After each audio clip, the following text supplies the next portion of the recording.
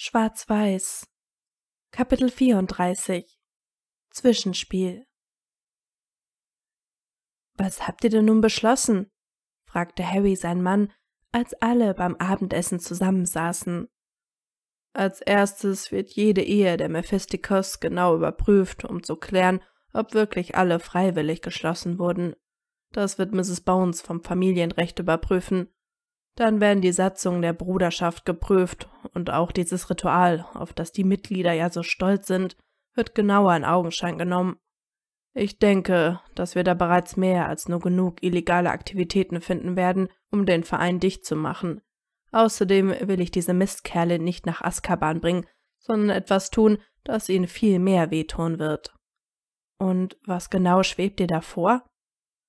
Severus Lächeln wurde kalt und auch die anderen drei hatten ziemlich unheilverkündende Gesichtsausdrücke.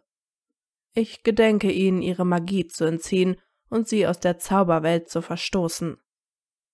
Am ganzen Tisch wurde laut die Luft eingezogen. Es gab für Zauberer nichts Schlimmeres, als aus der Gemeinschaft ausgeschlossen zu werden. Dieses Schicksal erlitten normalerweise nicht mal Straftäter, die ihre Strafe abgesessen hatten. Aber es gibt doch ohnehin schon so wenig Zauberer. Ist es da nicht kontraproduktiv, wenn man diese Zahl noch weiter dezimiert? Hermine war sich nicht ganz sicher, ob sie ihrem Professor in dem Punkt zustimmen konnte. Das Ministerium diskutierte doch jetzt schon über ein neues Gesetz, das sogenannte Zwei-Kinder-Programm. Jedes Paar wäre demzufolge dazu verpflichtet, mindestens zwei Kinder in die Welt zu setzen. Darüber brauchen Sie sich keine Gedanken zu machen. Fast jedes Mitglied der Mephistikers hat bereits Kinder. Das ist sogar Voraussetzung, um in diesem Verein bleiben zu dürfen. Jeder hat eine gewisse Zeit, um für Nachwuchs zu sorgen. Gibt es den nicht, wird die Mitgliedschaft gekündigt. Das ist ja auch der Grund, warum wir annehmen, dass die meisten Ehen nicht ganz freiwillig sind. Aber eins verstehe ich immer noch nicht. Das Ministerium versucht doch alles, um aus den beiden Profit zu schlagen. Wäre es da nicht für die von Vorteil, wenn wir diesen obskuren Club beitreten und fleißig für Nachwuchs sorgen? Also, was bringt euch auf den Gedanken, dass Fatsch euch bei dieser Vendetta unterstützen wird? Nun meldete sich Remus zu Wort. Ganz einfach, weil sie keine andere Wahl haben. Magische Wesen werden von dem Gesetz her sehr geschützt. Das bedeutet, dass der Partner eines solchen Wesens fast uneingeschränkte Macht hat, wenn es darum geht, diesen zu schützen. Je seltener das Wesen, umso mehr Rechte hat es. Mit anderen Worten, in diesem Fall hat sich das Mysterium selbst ausgebremst. Und Sie können die Gesetze nicht einfach umkrempeln?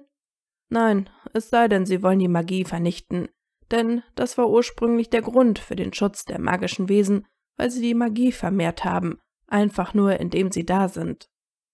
Sirius schien genau dieser Punkt unglaubliche Genugtuung zu verschaffen, Endlich musste die Gesellschaft mal etwas für sein Patenkind tun. Bis jetzt war es ja immer umgekehrt gewesen. Harry hingegen runzelte die Stirn. Severus konnte an der gesamten Körperhaltung seines Kitten sehen, dass ihm etwas überhaupt nicht gefiel. Auch Luna schien es bemerkt zu haben. Na los, sag schon, Bruder, was liegt dir quer? Diese heuchlerische Gesellschaft und ihre selbstgerechte Art. Ich meine, Werwölfe und Zentauren sind auch magische Wesen. Sie werden allerdings behandelt wie etwas Böses, und es gibt noch eine ganze Liste solcher Wesen, die fast rechtlos sind.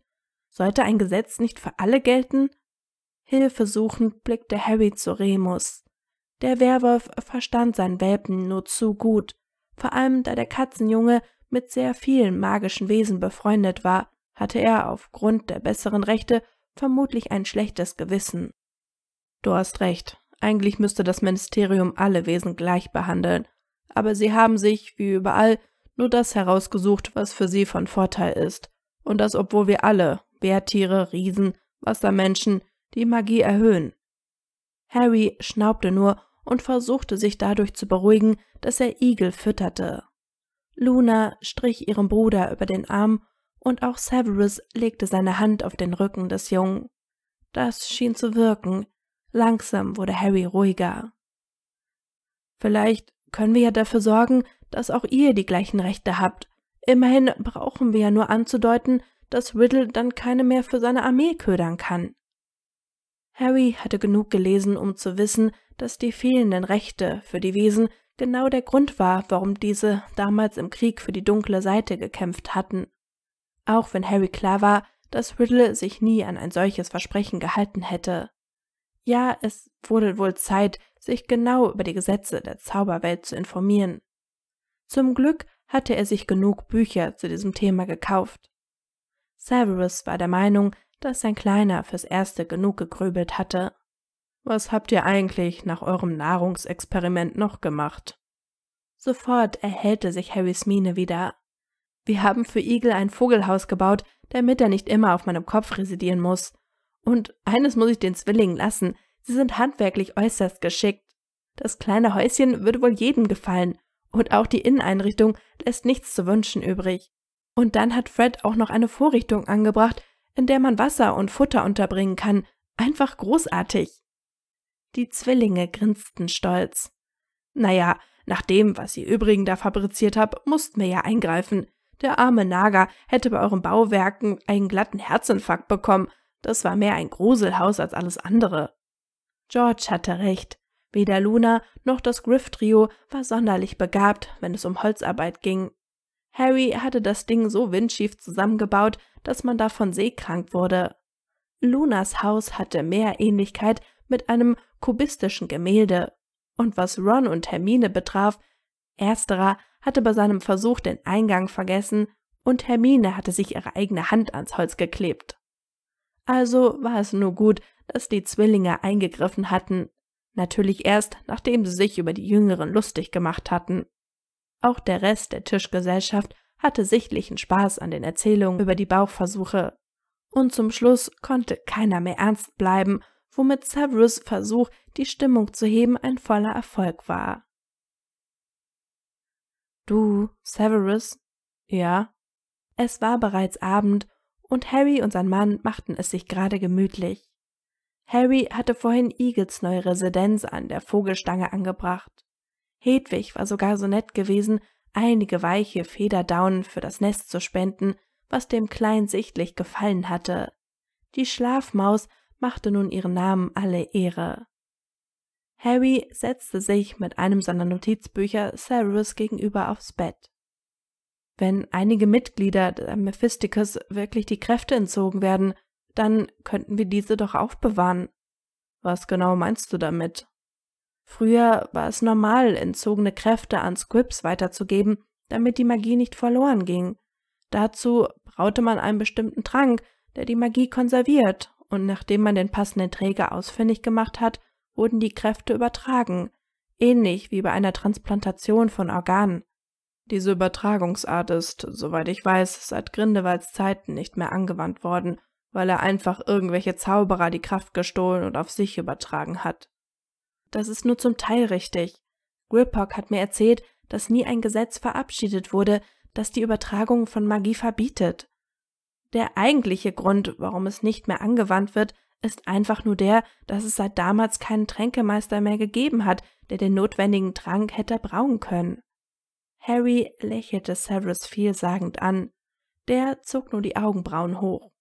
Wollte ihm sein Kleiner damit etwa zu verstehen geben, dass er ihm diese außerordentliche Leistung zutraute? Noch ehe Severus danach fragen konnte, wurde ihm von Harry schon das Notizbuch gereicht. Ich habe das Rezept aus einem Buch in meinen Verliesen. Es ist wirklich ein sehr aufwendiger Trank, aber ich denke, für dich sollte es möglich sein. Severus las sich das Rezept durch und stockte. Es ist nicht nur schwer in der Herstellung, sondern auch in der Beschaffung der Zutaten. Einige müsste ich bestellen, das kann Wochen dauern.